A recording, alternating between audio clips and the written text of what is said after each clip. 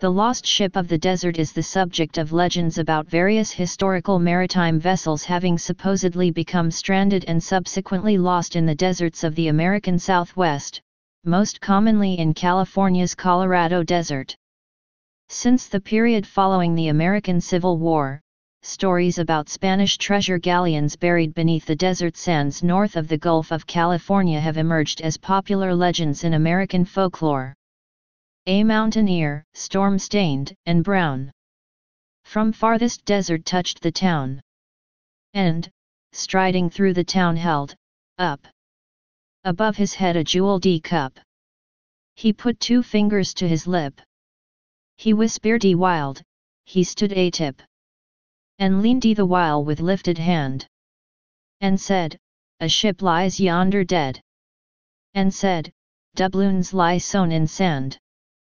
Along yon desert dead and brown. Joaquin Miller 1875, The Ship in the Desert. Roberts Brothers Version. Stories. The Lost Galleon. The earliest tales of a lost Spanish galleon appeared shortly after the Colorado River flood of 1862. Colonel Albert S. Evans reported seeing such a ship in 1863.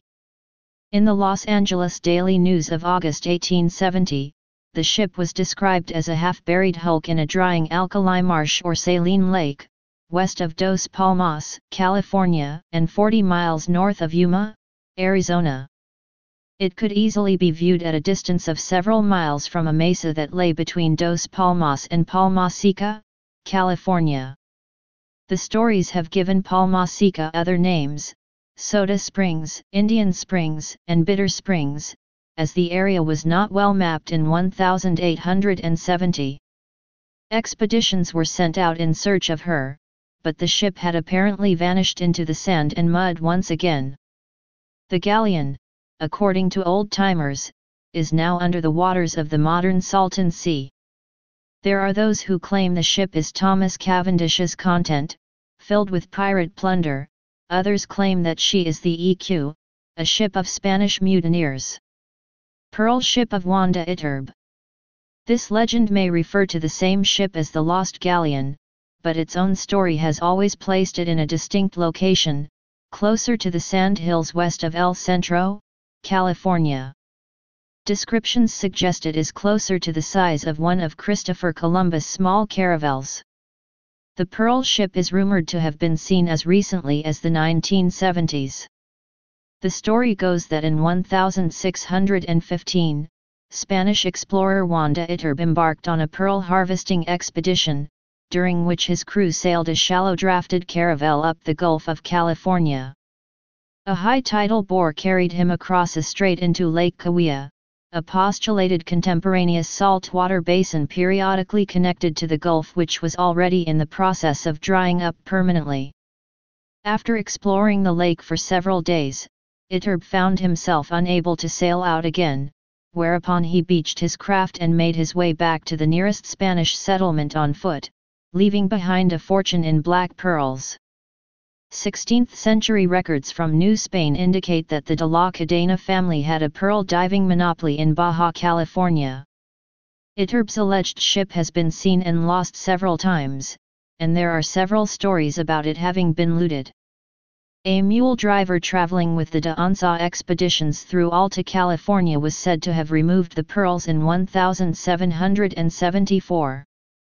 Around 1917, an El Centro farmer named Jacobson was said to have found a very small chest of jewels, which he quietly sold in Los Angeles, and to have used timber from the Pearl ship to build his pig pens. The Viking ship, or the serpent-necked canoe. The Viking stories originated around 1900 from the Mexicans and Indians who live in the Colorado River Delta region near the Laguna Salada Basin. The ship is consistently described as an open boat with round metal shields on its sides in the Badlands west of Mexicali, Mexico. Around 1933, Myrtle Botts, a librarian from Julian, California, had an encounter with an old prospector who showed her photos of what she called a Viking ship. He gave her and her husband directions to the location but an earthquake prevented the Botts from following the prospector's trail to the ship. Julian's Pioneer Museum, which inherited Myrtle Botts' papers, also inherited those directions. The Julian Pioneer Museum is not in possession of any records regarding the Viking ship mentioned in this story. The ferry boat or river schooner. This story really grew out of an effort to explain or debunk the lost galleon story. It is thought that an abandoned ferry or steamboat that had broken away during a Colorado River flood and had been left dry in the vast sands of the river delta is the origin of the rumors. Others claim that it was a schooner that gold seekers wishing to search the more inaccessible portions of the Colorado River had built in Los Angeles and hauled through the desert by a mule or oxen team until the animals perished, leaving the boat mired in soft sand. The ferry boat story changed over time more often than the lost galleon story.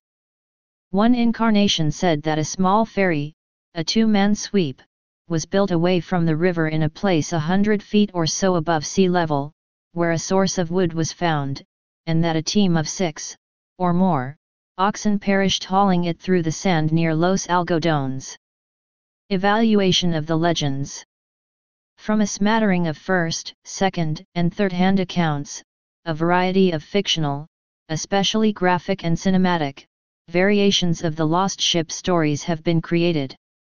Not surprisingly, the first-hand accounts are extremely rare.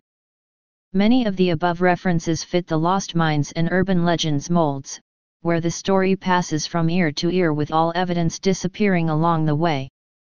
Searching for and finding the remains of a lost ship is now rather problematic.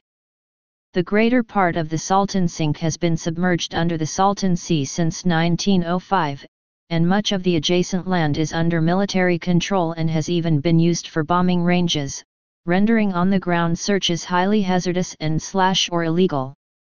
Lands adjacent to Laguna Salada in Baja California, and between the Gulf of California and the Salton Sea, regularly receive wind-blown sand from the desiccated delta of the much diverted Colorado River, generating vast sand dune systems.